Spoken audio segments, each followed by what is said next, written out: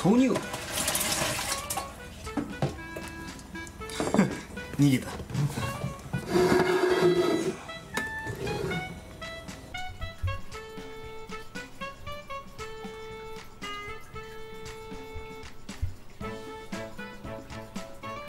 お。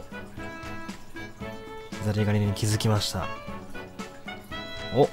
逃げられてるそうこうやって見てると結構ねこいつ捕まえるの下手っぽいんですよね。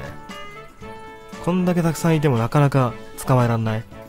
やっぱ基本的に待ち伏せ型の生き物なんで自分から捕まえに行くのは苦手みたいですね。はい見つけました。いけ 逃げられてる。本当に見た目はごついんですけどこうやって見てると行動は可愛いですよね。さあ行け。頑張れ。頑張れ。恐る恐る言ってんのはまた可愛いですね。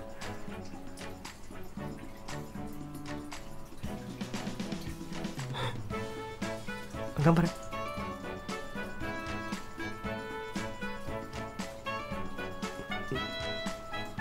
あーおいったようやく捕らえられました。3度目の正直。後ずさりしていきますけどもう多分すでにお尻が壁にぶつかってます。それ以上後ずさりできないよ。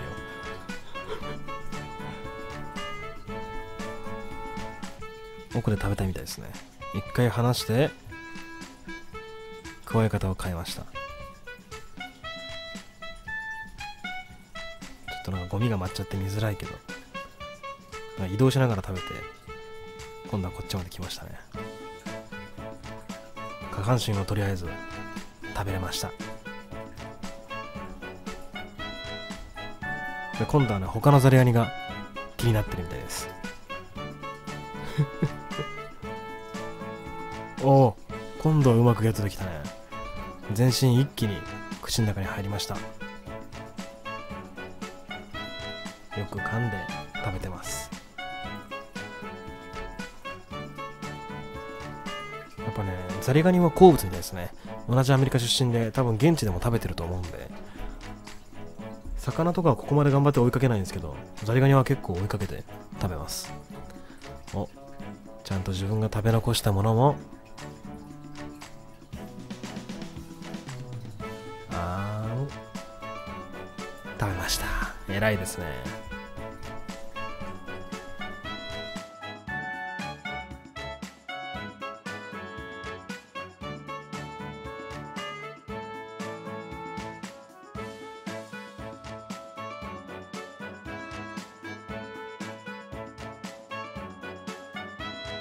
こんだけザリガニ入れてたんですけどね、あとはもう翻弄されるばっかりで、この日はね、さっきのザリガニたちだけしか食べれてませんでした。